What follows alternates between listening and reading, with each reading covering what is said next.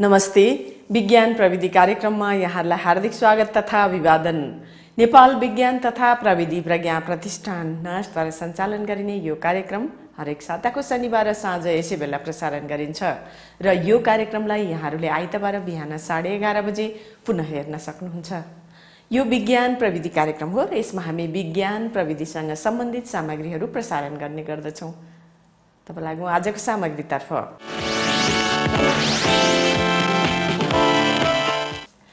हाम्रो ठुलो चाड बडा दसैँ आज मात्रै सकिँदैछ र अर्को चाड सुरु हुँदैछ तिहार छठ आदि इत्यादि। र यी चाडपर्वमा हामी विभिन्न किसिमका खाद्य पदार्थहरू खाने गर्दछौँ। र यी खाद्य पदार्थहरू हामीले हाम्रो शरीरलाई फाइदा हुने गरी मिलाएर खाएको खण्डमा हाम्रो शरीरलाई फाइदा हुन्छ र जथाभावी खाएमा हामीलाई नोक्सान हुन्छ हामी बिरामी पर्छौँ। र कस्ता खाद्य पदार्थहरू खास गरी मासु कसरी खानुपर्छ? आज हामी विज्ञान प्रविधि कार्यक्रमको पहिलो सामग्रीका रूपमा चर्चा गर्दैछौँ। यही खाद्य प्रविधिसँग सम्बन्धित। र यसका विशेषज्ञ हुनुहुन्छ डाक्टर दिलीप सुब्बा। डाक्टर दिलीप सुब्बा नास्टका पूर्व सचिव पनि हुनुहुन्छ।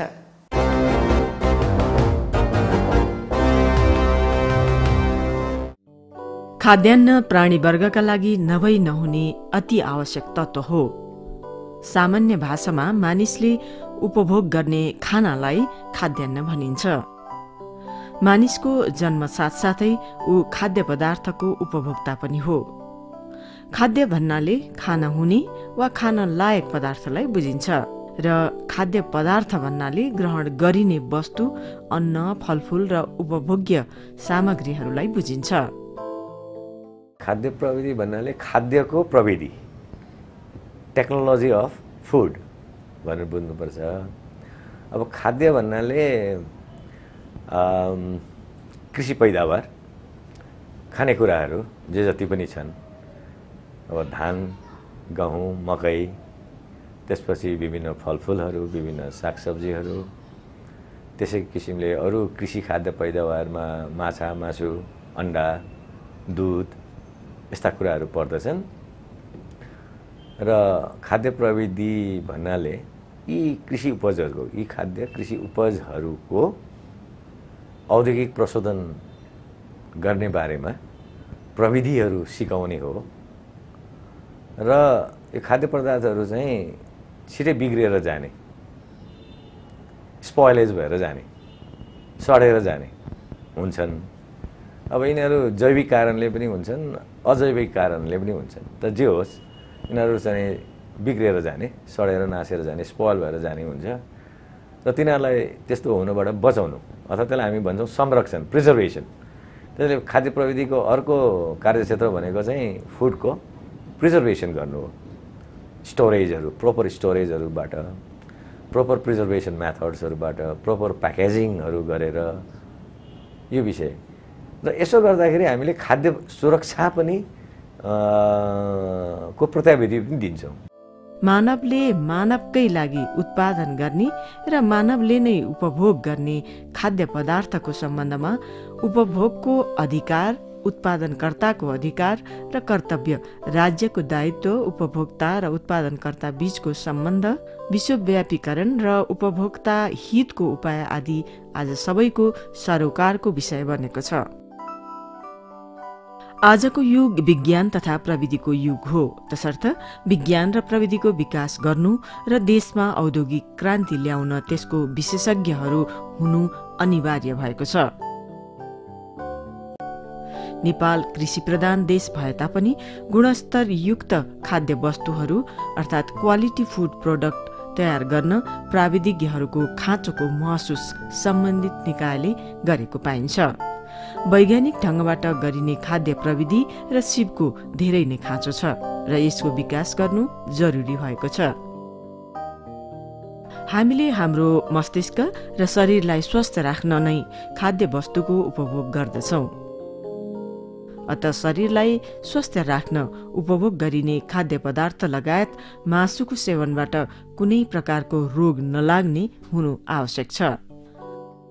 अहिले अत्यन्त नेपालमै पनि धेरै यो विषय एउटा हट इस्युको रूपमा आइरहेछ जस्तै विशेष गरेर अस्ति जाँदो चाडबाडको बेलामा दसैँ दसैँ तिहारको बेलामा स्वच्छ खानेकुरा भन्ने विषय लिएर धेरै नै आयो।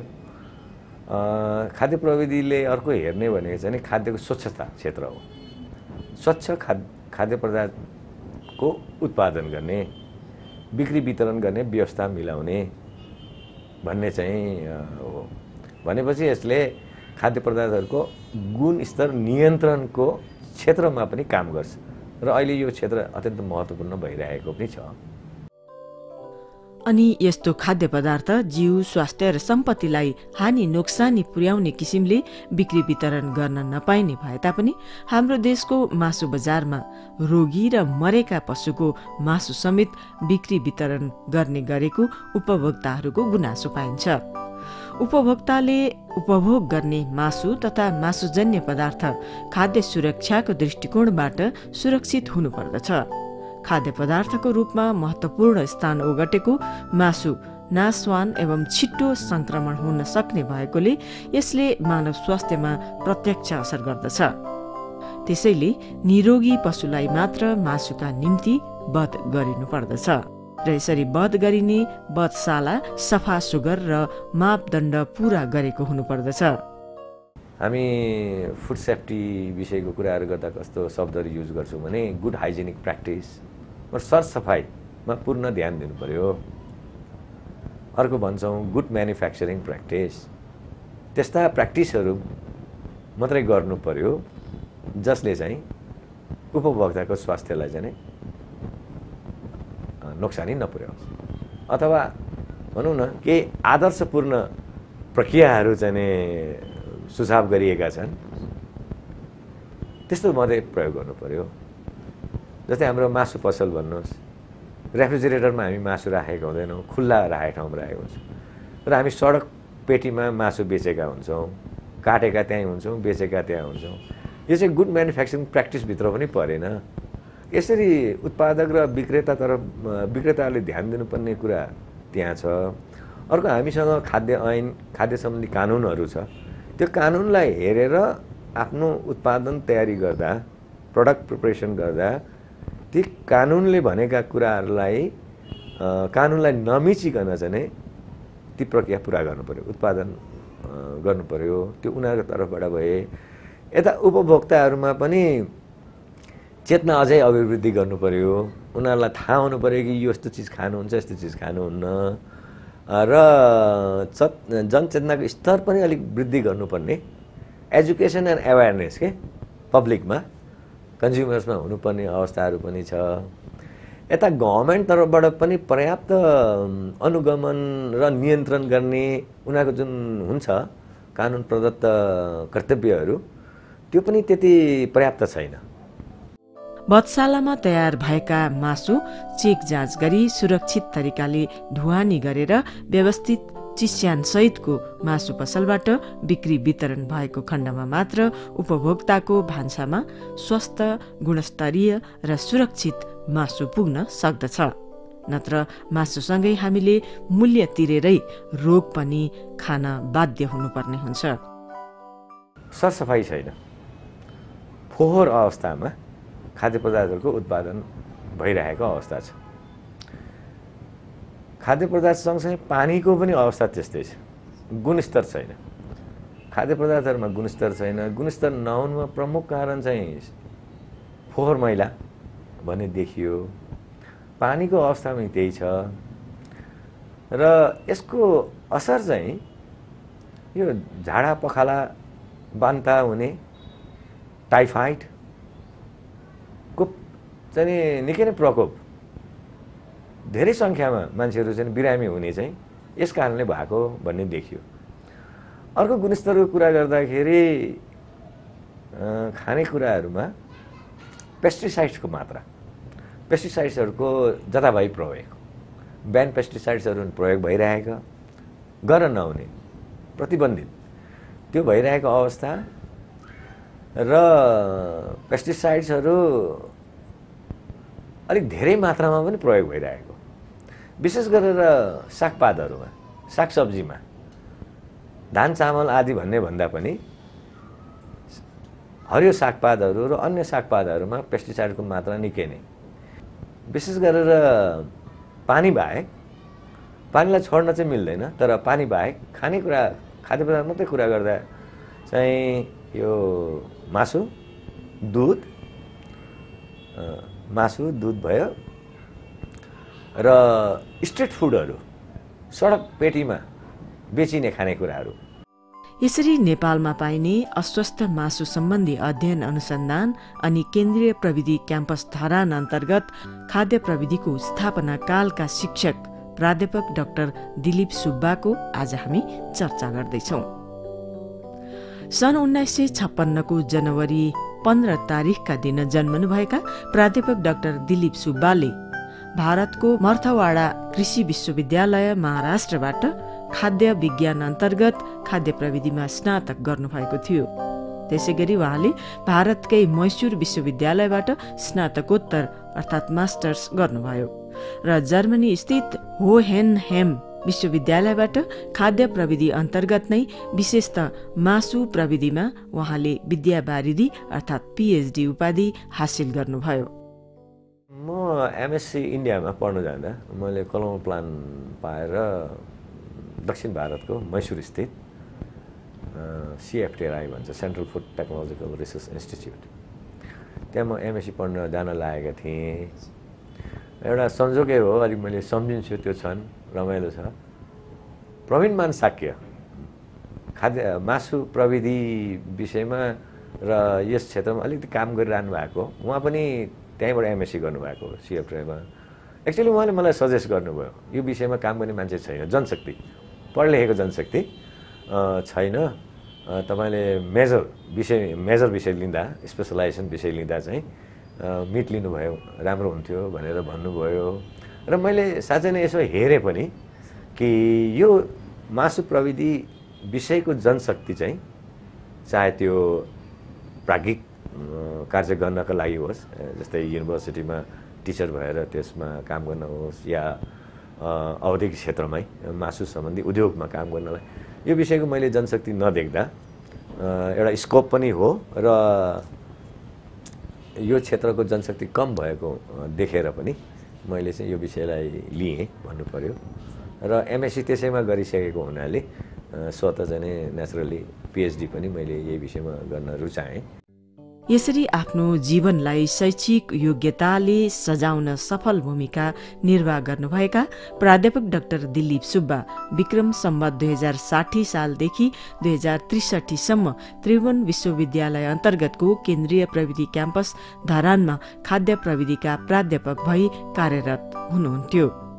र विक्रम सम्बत दुई हजार उनासाठी सालदेखि दुई हजार त्रिसठी सालसम्म केन्द्रीय प्रविधि क्याम्पस धरानमै सहायक डिन तथा क्याम्पस प्रमुखको रूपमा पनि उहाँले कार्य गर्नुभएको थियो। र त्यसै गरी विक्रम सम्बत दुई हजार त्रिसठी सालदेखि दुई हजार सडसठी सालसम्म उहाँ नेपाल विज्ञान तथा प्रविधि प्रज्ञा प्रतिष्ठान नास्टका सचिव भएर पनि काम गर्नुभयो।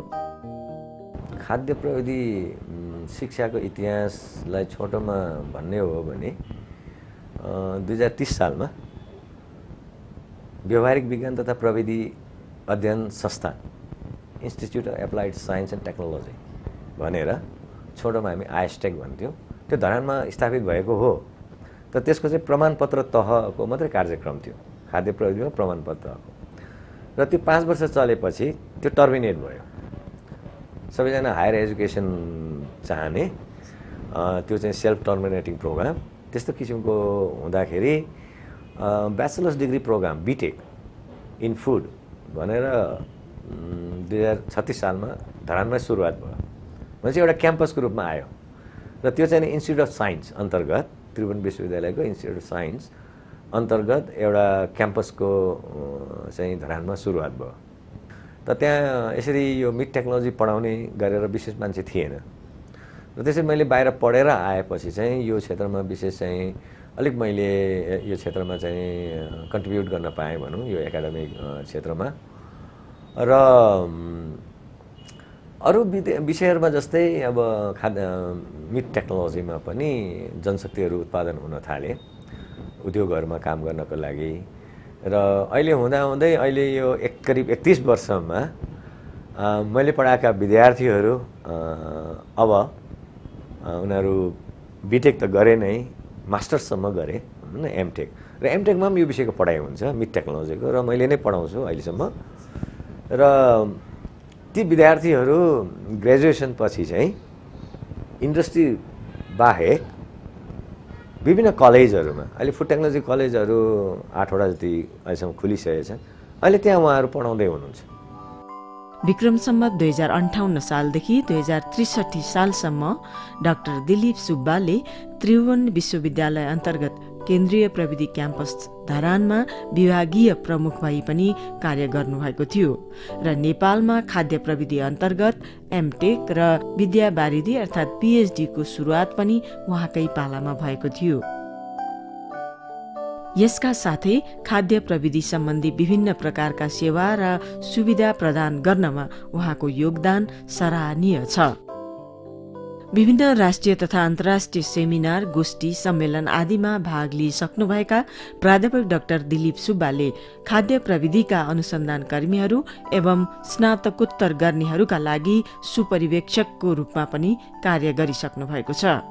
यसरी जीवनको लामो समयलाई खाद्य प्रविधिमा व्यतीत गर्नुभएका प्राध्यापक डाक्टर दिलीप सुब्बाले तीनवटा पुस्तक प्रकाशन गरिसक्नु भएको छ र साथै उहाँले तालिम निर्देशिका अनुसन्धान कृति एवं विभिन्न लेखहरू प्रकाशित गर्नुभएको छ। यो आरएनडी रिसर्च एन्ड डेभलपमेन्टको प्रयोग गरेर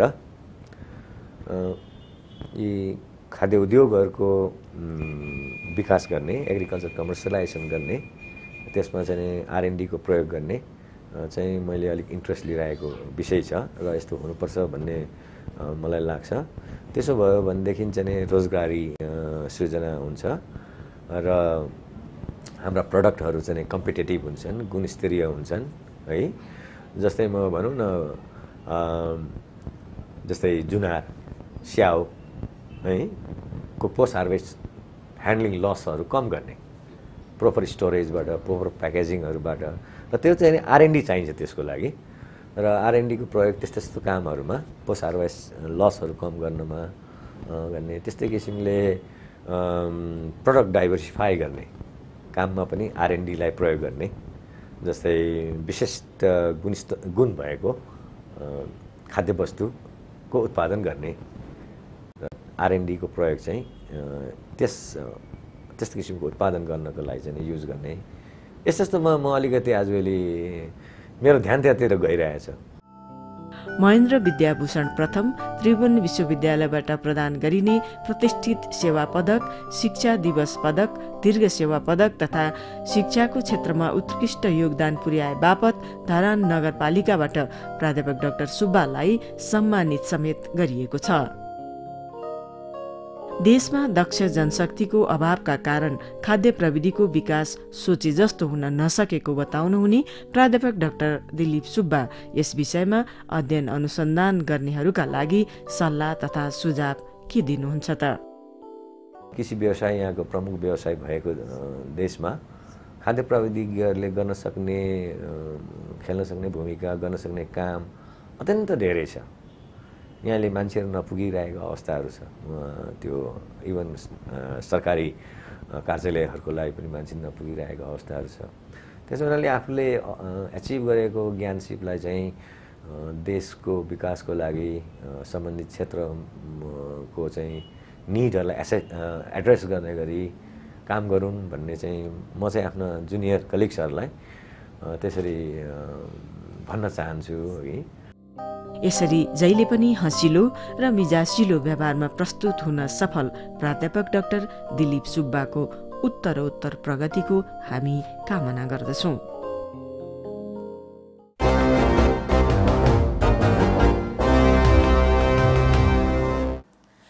विज्ञान प्रविधि कार्यक्रमको अर्को सामग्रीका रूपमा अब हामी प्रस्तुत गर्दैछौँ एउटा छोटो जानकारी।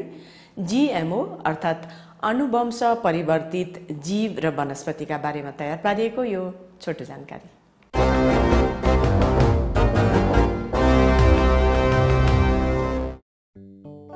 आजभोलि खाद्यान्न सङ्कट विश्वभरिका मानिसहरूका लागि ठुलो समस्याको विषय बनेको छ।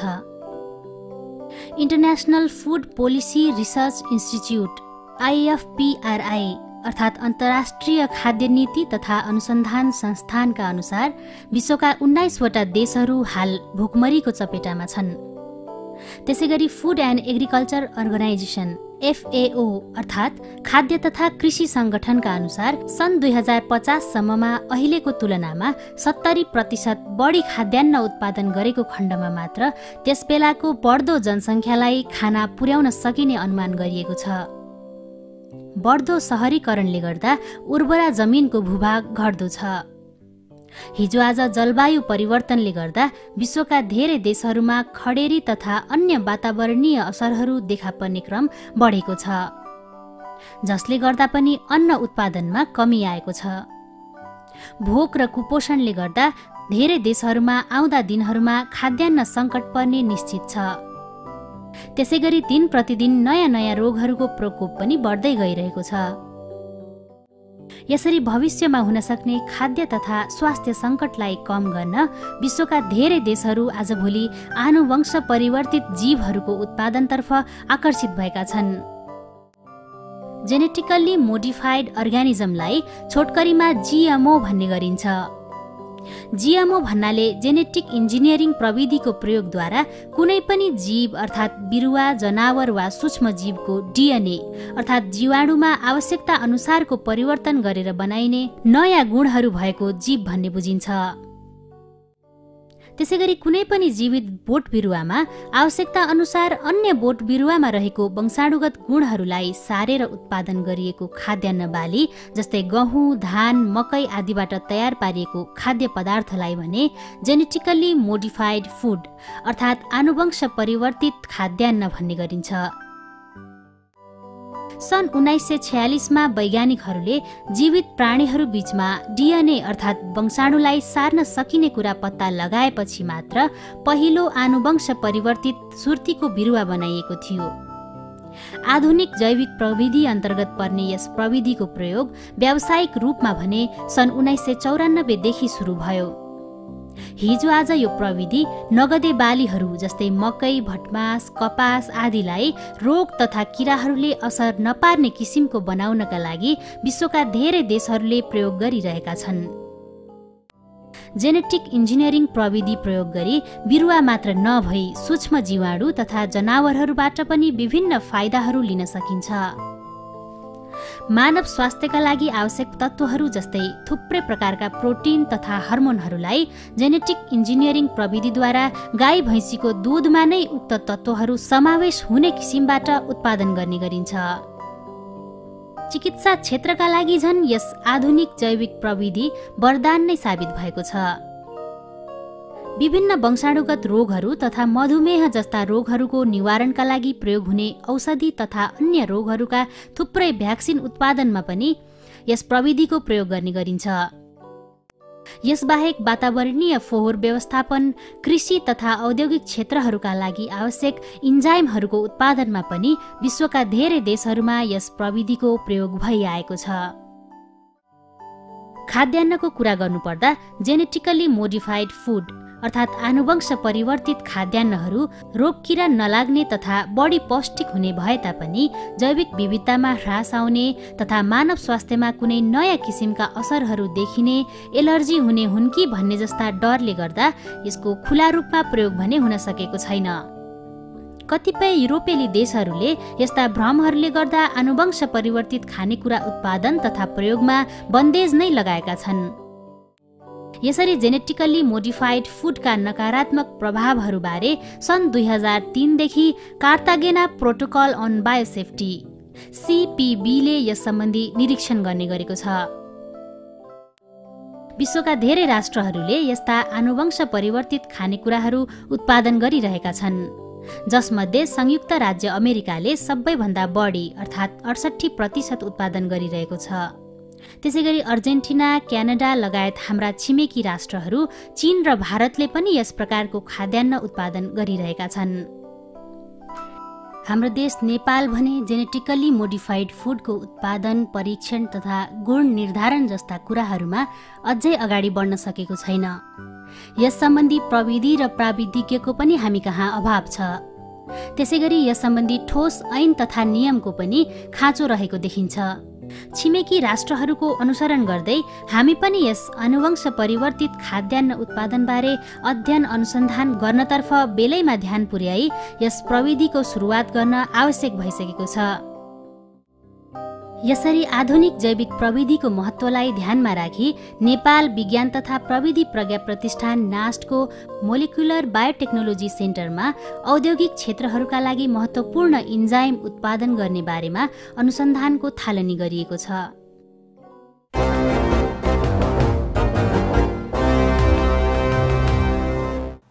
आजलाई विज्ञान प्रविधि कार्यक्रमका सामग्री यति नै। यहाँहरूलाई यो कार्यक्रम कस्तो लाग्छ? आफ्ना सुझावहरू हामीलाई पठाउनुहोला। यहाँहरूको सुझावले नै यो कार्यक्रमलाई अघि बढ्न मद्दत गर्नेछ। हामीलाई सुझावहरू पठाउने हाम्रो ठेगाना हो विज्ञान प्रविधि टेलिभिजन कार्यक्रम नेपाल विज्ञान तथा प्रविधि प्रज्ञा प्रतिष्ठान नास्ट पोस्ट बक्स नम्बर तिन तिन दुई तिन काठमाडौँ नेपाल र हाम्रो इमेल एड्रेस हो विज्ञान प्रविधि at NAST dot gov dot np हस् आजलाई कार्यक्रम यति नै। आगामी साता फेरि भेटौँला। नमस्ते।